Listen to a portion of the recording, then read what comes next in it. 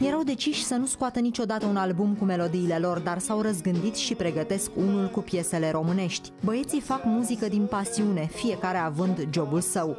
Facem muzica pe care ne-ar plăcea nouă să, o- să o auzim și după aia judecând că suntem 7 miliarde pe pământ, se nimeresc câțiva care să simtă ca noi.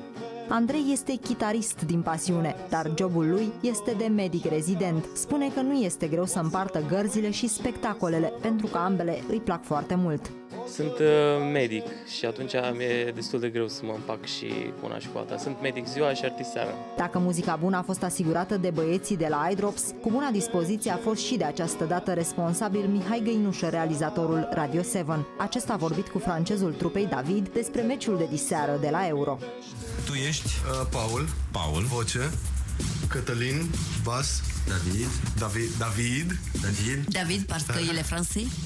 mais Oui, oui. Tu es français? Mais oui. Oh, enchanté, monsieur David. Euh, Qu'est-ce que tu fais en Roumanie? Excusez-moi. Ah ben un peu de un peu de musique avec mes, mes copains de d'Idrops, voilà.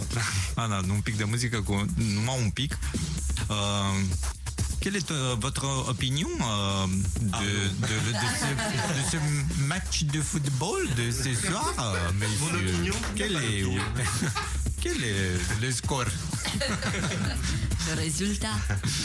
Euh, je pense qu'il y a des très bons très bons spécialistes pour ça. J'ai pas d'avis là-dessus. Zice că eu sunt specialistul, mulțumesc.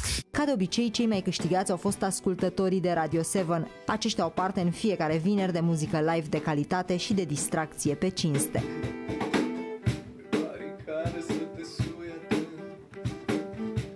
Cu una te ajută de fel